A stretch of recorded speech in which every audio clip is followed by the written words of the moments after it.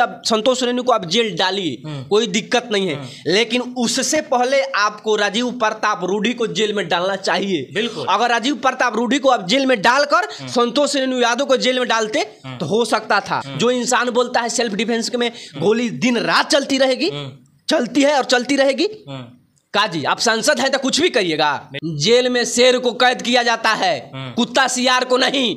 संतोष रेणु यादव एक शेर है और शेरे को पिंजरा में बोन किया जा सकता है। कुत्ता सियार को जानते हैं? आप कहीं भी हथकड़ी लगाकर माने एगो सिक्कर दस रुपया किन लीजिए और कहीं भी खूंटा में लगाकर बाँध दीजिए तो कुत्ता वहाँ पर रह जाएगा। लेकिन शेर को आपको पिंजरा के अंदर बंद करना पड़ेगा। हम्म, क्योंकि शेर गरीब का मसीहा था। संतोष रेणु यादव गरीब का मसीहा थे। हम्म। चंपारण में जाकर लड़े यार। उज्जवल यादव के संग क्या हुआ था? पता है आपको? बाल छील दिया गया था। हम्म, मुरी के बाल छील कर थूक चटवाया गया था।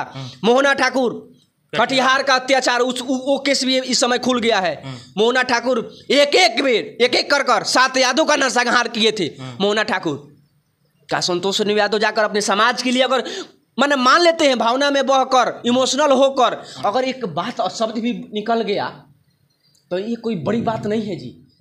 दोस्तों नमस्कार मैं हूँ सुभाष। देखिए बीते कुछ दिनों पहले छपरा सारण में वोटिंग होता है। मतदान के दिन ही राजपूत समाज और यादव समाज के बीच लड़ाई होता है, जिसमें राजपूत समाज के कुछ लोग यादव समाज के ऊपर इस प्रकार प्रहार करते हैं कि चार लोगों को गोली लग जाती है, जिसमें मौके पर ही चंदन यादव की मौत हो जाती है। मौत के बाद संतोष रेणु यादव घर पहुँचते हैं। सोशल मीडिया पे बयान भी देते हैं, जिसके बाद संतोष रेणु यादव के ऊपर आरोप ये लगता है कि संतोष रेणु यादव समाज में नफरत फैलाने का काम किए जिसके कारण संतोष रेणु यादव के ऊपर एफआईआर होता है और संतोष रेणु यादव अभी सलाखों के पीछे हैं। उसी बिंदु पे बात करने के लिए अभी हमारे साथ लाल बाबू यादव हैं। क्या कुछ बोलेंगे?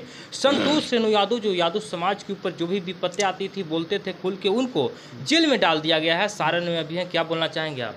चाहे उस वो इंसान कोई भी जाति से आता हो कोई भी समाज से आता हो संतोष रेणु यादव को ये माने नहीं रखता है। बस आप गरीब हैं आपको कोई अमीर इंसान दबा रहा है तो वहाँ पर संतोष रेणु यादव अपना जान दाव पर लगाकर आपके लिए लड़ जाते हैं। यही कारण है कि आज संतोष रेणु यादव को सलाखों को पीछे भेज दिया गया। लेकिन आरोप तो ये है कि राजीव प्रताप रूढ़ी को धमकाए थे सोशल मीडिया के ज़रिए। ठीक है राजीव प्रताप रूढ़ी को धमकाए हैं। सबसे पहली का बात जान लीजिए संतोष रेणु यादव अपने समाज के लिए अपने समाज से इतना प्यार करते हैं। जो उनके समाज पर कोई अंगुरी उठाता है ना तो वो कुछ भी बोल देते हैं। उनको समझ में नहीं आता है।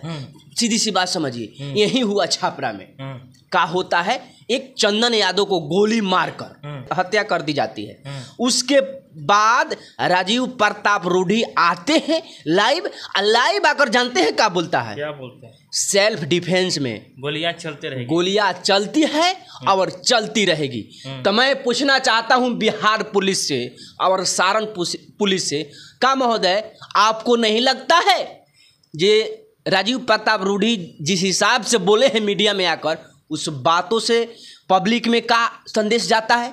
उस बातों से का लगता है नहीं आपको जो पब्लिक आपस में लड़ेगी पब्लिक आपस में जूझेगी एक दूसरे तरह से गोली बंदूक चल सकती है यहाँ पर कुछ भी हो सकता है इस बात तो आपको सिर्फ़ संतोष रेणु यादव दिख रहे हैं। काहे कि जानते हैं? संतोष रेणु यादव एक गरीब का बेटा है गरीब के लिए लड़ता है एनी टाइम गरीब के लिए आवाज़ उठाता है क्या जो राजीव प्रताप रूढ़ी बोले कि सेल्फ डिफेंस के चलते गोलियाँ चलती है चलते रहेगी? क्या ये धमकाने वाला बिल्कुल धमकाने वाली बात है बिल्कुल है? धमकाने वाली बात है। हाँ। ये बीजेपी वाले लोग अत्याचार कर रहे हैं। संतोष रेणु यादव से पहले तो वो बयान दिए उनको क्यों नहीं गिरफ़्तार क्यों नहीं गिरफ़्तार किया गया? सबसे बिहार पुलिस बिहार पुलिस का हम आपसे निवेदन करना चाहते हैं देखिए हम लोग कोई गुंडा नहीं है मवाली इंसान नहीं है। हाँ। हम लोग एक सोशल मीडिया वर्कर है। हम्म, हम आपसे बस बता सकते हैं हम्म। कह सकते हैं हम्म। करना आपको है। क्या आपको लगता है कि बिहार पुलिस सारण पुलिस एक तरफा कार्रवाई कर रही है? बिल्कुल एक तरफा कर रही है। हाँ, देखिए हम दो मिनट के लिए मानते हैं जो संतोष रेणु यादव धमकाने के लिए बोले राजीव प्रताप को धमकाए। हम्म, ठीक है संतोष रेणु के लिए आप संतोष रेणु को आप जेल डालिए कोई दिक्कत नहीं है। लेकिन उससे पहले आपको राजीव प्रताप रूढ़ी को जेल में डालना चाहिए। बिल्कुल। अगर राजीव प्रताप रूढ़ी को आप जेल में डालकर संतोष रेणु यादव को जेल में डालते तो हो सकता था। कबूल है? जे हम लोग कबूल कर लेते। चलिए संतोष रेणु यादव भावना में बहकर कुछ बातों को गलत बोल दिए तो जेल चले गए। इस चीज़ को मान लेते। लेकिन आप राजीव प्रताप रूढ़ी को नहीं डाले जो इंसान बोलता है सेल्फ डिफेंस में गोली दिन रात चलती रहेगी चलती है और चलती रहेगी। हम्म, काजी आप सांसद हैं तो कुछ भी करिएगा बिल्कुल। काजी महोदय राजीव प्रताप रूढ़ी जी हम्म, आप सांसद हैं एक मतलब गरीब आप अत्याचार कीजिएगा। हम्म, एक एक लड़का को आप आप वो लड़का को आप उ- उसके माँ से छीन लिए कि नहीं? एक बहन के हाथ के कलाई राखी आप छीने कि नहीं? हम्म, सोचिए राजीव प्रताप रूढ़ी जी एक परिवार का जो चंदन यादव वो अपने परिवार का एक मतलब समझिए भगवान था। अब बताइए कि यदि चंदन यादव यादव समाज से आते थे यादव समाज को मार दिया जाता है और संतोष रेणु यादव अपने खून के लिए अपने समाज के लिए मिलने जाते हैं उस परिवार को धीरज धराने जाते हैं संवेदनाएँ प्रकट करने जाते हैं तो क्या ये गलत है? नहीं गलत नहीं है। गए हम्म, ठीक बात था। हम्म। उनको रोका भी गया। हम्म, चलिए मानते हैं गलत किए। हम तो मान लिए भाई। ये संतोष रेणु यादव गलत किए हैं।